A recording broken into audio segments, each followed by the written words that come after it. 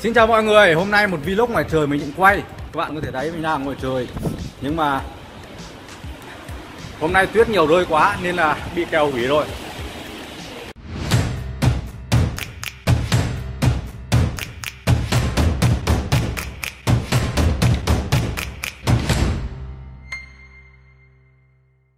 Đây là trước cửa khu trung mại thương tâm của thành phố của mình.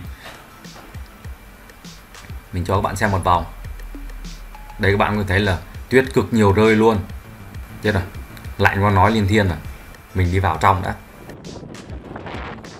Trước mặt là một khu bảo tàng chuẩn bị khánh thành. Và bây giờ thì mình đã vào trong khu trung mại thương tâm. Các bạn thì thấy là cây thông ở khắp nơi luôn. Mặc dù Giáng sinh đã qua rồi, nhưng mà bên này Noel thì vẫn còn. Hôm nay mình đang mặc một chiếc áo tha thu của Adidas và mang theo một chiếc giày tha thu của Nike. Các bạn thích mình review lôi nào trước? Thích mình review cái nào trước? Hơi tiếc vì hôm nay không quay được ở ngoài trời nhưng mà không sao. Bây giờ mình sẽ vào cái khu trung tâm, khu mua sắm điện máy để nghỉ một chút. Sau đó về studio riêng của mình ở nhà để quay tiếp cho mọi người. Trong đây là siêu thị điện máy. Để mình dẫn các bạn đến một chỗ rất là hay. Lần nào đến đây mình đến. Đây, đây, đây, chính là cái này. Đây là hai cái ghế massage. Đấy, cho đàn ông và người lớn đây là cái ghế cho khách hàng thử trước khi mua. Đây là cái bàn điều khiển này. Đang chạy chế độ demo có đầy đủ các chức năng massage luôn Cực kỳ sướng. Mỗi lần vào đây mình đều ngồi đây một lúc Ngồi miễn phí mà. Chỉ ngồi một tí thôi Cho đến lúc mà chán thì về. Trong đây còn có wifi miễn phí cơ khỏe cực. Vừa ngồi đây thư giãn Vừa vào phần mềm à, quản lý youtube ấy Để đọc tin nhắn của mọi người. Đây này, vào đây mình có thể đọc được mọi tin nhắn của mọi người luôn. Hiện tại thì kênh đang có 43.879 người theo dõi Người đăng ký. Bây giờ mình đã về đến cái studio ấm cúng của mình rồi. Sau khi đăng ảnh lên Facebook để hỏi ý kiến mọi người thì mình đã quyết định làm một chủ đề về quần áo Tết, cả dài Tết nữa. Nghĩa là nói về cả outfit, cả cái bộ trang phục hoàn chỉnh từ đầu đến chân Chứ không chỉ tập trung nói về dài như những video khác.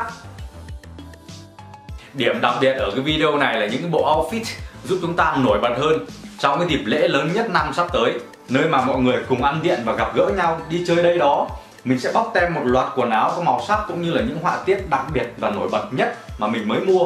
Và chúng ta sẽ cùng nhau tìm cách phối đồ với chúng như thế nào nhé. Đầu tiên là cái áo tattoo mà mình chẳng may để lộ ra tại vì cố tình đăng ảnh lên Facebook. Thôi lộ rồi thì giới thiệu trước. Cái áo này có tên là bandana hoodie. Đối với bạn nào chưa biết thì hoodie chính là áo như thế này. Một loại áo ấm dạng nỉ. Thường là làm bằng chất liệu nỉ và có mũ. Có hai cái dây ở dưới này để điều chỉnh cái độ rộng của mũ. Có cái túi rất to bụng để đút tay vào tránh rét cái túi này thông hai bên với nhau luôn. Nhưng đó chỉ là định nghĩa chung thôi, chứ hút đi có rất nhiều biến thể khác nhau. Ví dụ như cái áo xăm trổ này, có mũ, nhưng mà lại không có cái dây để điều chỉnh độ rộng của mũ. Có loại có khóa ở giữa, như là cái áo này của Adidas. Thời gian mặc vào, tất nhiên là nó sẽ dễ hơn.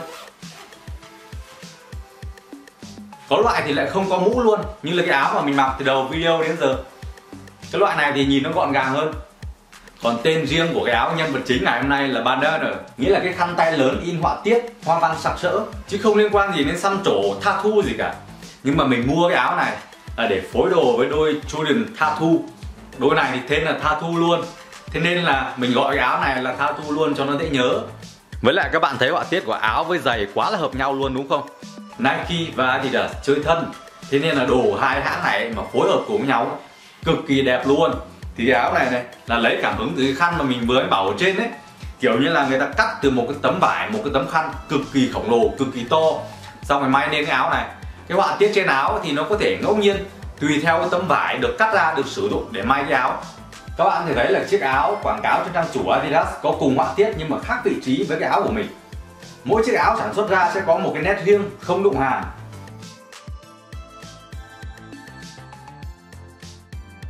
Hay một cái này này, là dù có rất nhiều họa tiết, nhưng mà với cái logo Adidas cực kỳ to này, thì nhìn từ xa là biết ngay đây là một cái áo hàng hiệu, chất lượng cao. Chứ không phải là một cái áo hoa lá cành gì đó mua ở ngoài chợ. Zoom kỹ vào các họa tiết thì các bạn thấy đó là họa tiết dệt màu trắng là chỉ trắng, không phải sơn hay là dán nên không sợ giảm bị bong. Tuy nhiên, cái logo Adidas này là dán lên này thì các bạn lưu ý là không được dằn nước nóng. Sau áo xăm trổ thì chúng ta có cả quần xăm trổ luôn. Nhìn vào đây các bạn thấy ngay đây là một cái quần đám thẳng vào xuân cực kỳ dễ mặc luôn. Thôi để mình mặc vào luôn, review cho dễ. Đây, các bạn thấy là dáng cái quần này cực kỳ khỏe khoắn luôn. Nó không bó quá mà cũng không rộng quá. Đây, để mình cho các bạn nhìn tổng thể một vòng dáng của cái quần. Nhìn từ bên cạnh này, nhìn từ đằng sau, mông quần này, tôn được cả mông luôn nói chung là cái quần này cực kỳ dễ phối đồ. Tuy cũng là quần xăm trổ thuộc cùng bộ sưu tập với cái áo hoodie này, nhưng mà nó chỉ có một cái mảng xăm trổ nhỏ, hình vuông ở đây, bên phải của mi và một cái logo Adidas nhỏ bên trái của mi nhỏ nhưng mà vẫn rất nổi bật luôn. Cái quần nhìn đơn giản hơn nhiều so với cái áo, tại vì nếu quần áo đều chẳng chỉ họa tiết ấy, thì phối với nhau có cảm giác gì đó nó hơi quá, nó hơi phô quá. Tuy nhiên thế này thì mình thấy rất là ok này. Để bộ outfit liền mạch hơn nữa thì các bạn có thể mặc thêm một quần legging ngoài ra thì mình còn có thêm hai chiếc áo xăm rổ nữa. Trong tủ bóng vẫn chưa bóc tem. Đây là một chiếc t-shirt áo phông. Cái này có họa tiết màu đỏ này, khéo hợp với cái dày hơn đấy. Còn đây là một chiếc áo hoodie nữa, nhưng mà chỉ có xăm trổ ở cánh tay thôi. Hai chiếc áo này đều có ý nghĩa đặc biệt. Còn bên này là đồ của Nike, một chiếc quần bóng rổ và hai chiếc áo màu đỏ. Có khá nhiều họa tiết nhưng mà ở đây không nhìn rõ lắm. Màu đỏ này phối đồ mới khó này thế nhưng mà video này là mặc làm sao để cho nó vừa đẹp vừa nổi mà. Nên là không thể thiếu màu đỏ được. Lát nữa mình sẽ thử phối đồ với hai đôi giày màu đỏ. Đó là đôi giày Jordan lửa này. Và đôi Jordan người nhện. Đấy, còn nhiệm vụ của mình bây giờ là phải ngồi bóc tem cái đống đồ này.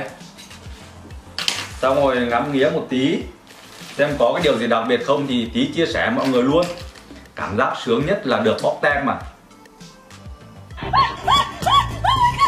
Cuối cùng có ảnh vào đây công nhận là cái áo này nó có họa tiết màu đỏ hợp với đôi giày hơn thật. Cái áo này tên là Maori. Nghĩa là Adidas họ lấy cảm hứng từ thổ dân Maori một cái bộ tộc mà người ta xăm trổ kín người luôn.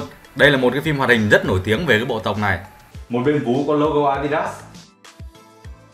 Vú còn lại có chữ Maori và hình cái lá dương sỉ.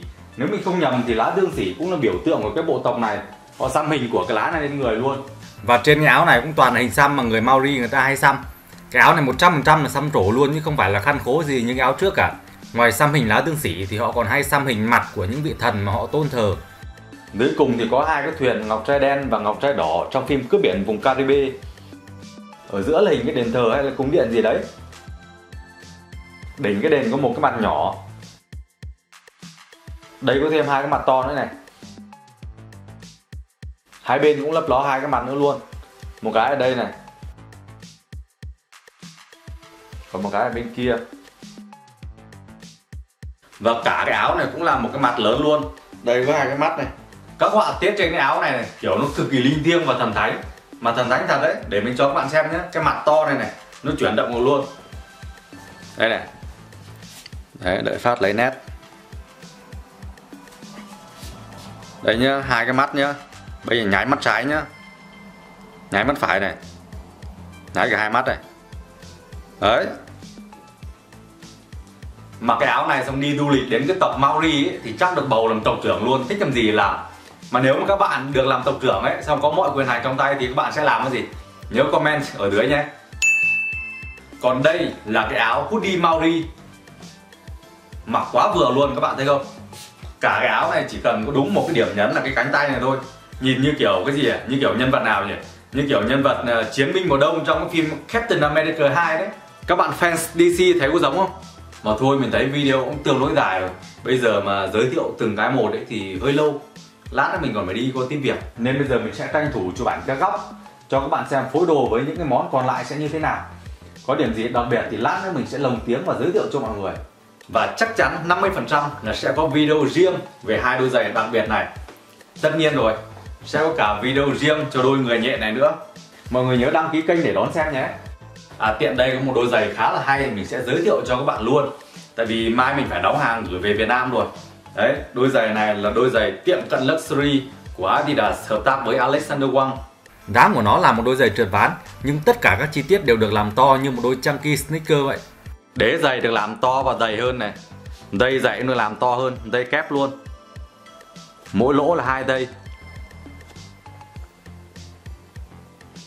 các chi tiết đa đây này, tất cả được làm dày hơn. Các bạn có thể thấy không? Cực kỳ dày trên đây có các ký tự kỹ thuật của cái đôi giày này. Gót giày này. Đây là chân bên phải à đây, chân bên trái thì có chữ L. Còn chân bên phải thì có chữ R. Cái logo cỏ ba lá lộn ngược này chính là đặc điểm nhận dạng của mọi sản phẩm hợp tác giữa Adidas và Alexander Wang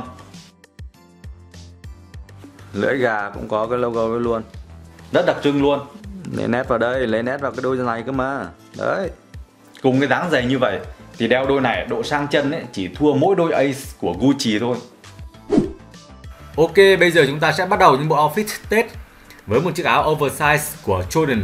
Nhìn ảnh này là các bạn hiểu tại sao lại là oversize rồi đúng không nào? Cả đằng trước và đằng sau đều có chữ Jordan và số 23 là số áo của cầu thủ này. Hai bên cánh tay được khâu những con số là năm mà cầu thủ này giành chức vô địch. Và điều đặc biệt nhất chính là những con số này làm bằng vật liệu phản quang màu vàng kim loại cực kỳ sang trọng. Đây các bạn nhìn thấy long lanh lung linh lấp ánh chưa? Đến gần luôn nhá. Từ từ để nó lấy nét vào cái áo đó. Ok, lấy nét vào cái áo thế nào. Đấy. Long lanh luôn. Quay gần vào nhá. Không biết dùng từ gì để diễn tả sự độc đáo của những cái vật liệu trên cái chiếc áo này luôn. Quá tuyệt vời, quá đẹp. Đây là dán nhá, nó rất là dày. À nhầm xin lỗi mọi người, đây là khâu như kiểu là vá lên ấy, vá hẳn một cái miếng vật liệu khác lên. Mình cảm nhận được rõ ràng luôn. Vừa đỏ vừa vàng đúng màu của Tết, của hoa mai, hoa đào. Mà cái áo này cảm giác như là Tết về tới nhà rồi vậy. Tiếp theo là một sắc độ đỏ khác với chiếc hoodie oversize cũng của Jordan. Hai cánh tay và nhất là hai cầu vai được làm bằng chất liệu đặc biệt. Outfit lần này kết hợp cùng quần sọc dọc của Adidas và đôi Jordan lửa cực kỳ nổi bật. Năng động hơn thì chúng ta có thể chọn quần đùi, quần bóng rổ. Nếu không đi tất thì nên kết hợp với một chiếc quần legging, quần tất đấy, quần tất 3 phần 4 để tạo hiệu ứng layer. Đây là góc nhìn ngang, mình rất thích chiếc quần short này của Nike với điểm nhấn xẻ tà và hai đường kẻ trắng bao quanh, đơn giản nhưng vẫn không bị chìm so với phần còn lại của outfit. Còn đây là góc nhìn từ đằng sau.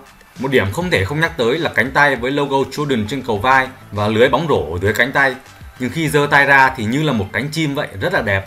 Tổng kết lại thì đây là một trong những bộ outfit mà mình ưng ý nhất, mình thấy đẹp nhất, cực kỳ xứng đáng để sử dụng vào dịp Tết. Cũng với đôi Jordan Spider-Man chúng ta hoàn toàn có thể phối với cây xăm trổ của Adidas.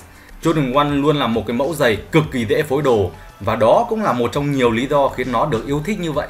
Và cuối cùng là hai phối đồ giang hồ xăm trổ, khá ngầu và khá chất để khép lại video khá vui của một youtuber khá bảnh. Nghe nói ở Việt Nam khá bảnh nghĩa là còn hơn cả rất bảnh nên nếu mà thấy video khá hay thì mọi người đừng quên like, đăng ký kênh và ấn quả chuông khá đẹp bên cạnh nút đăng ký để theo dõi những video sau nhé. Cảm ơn mọi người đã xem video và hẹn mọi người gặp lại.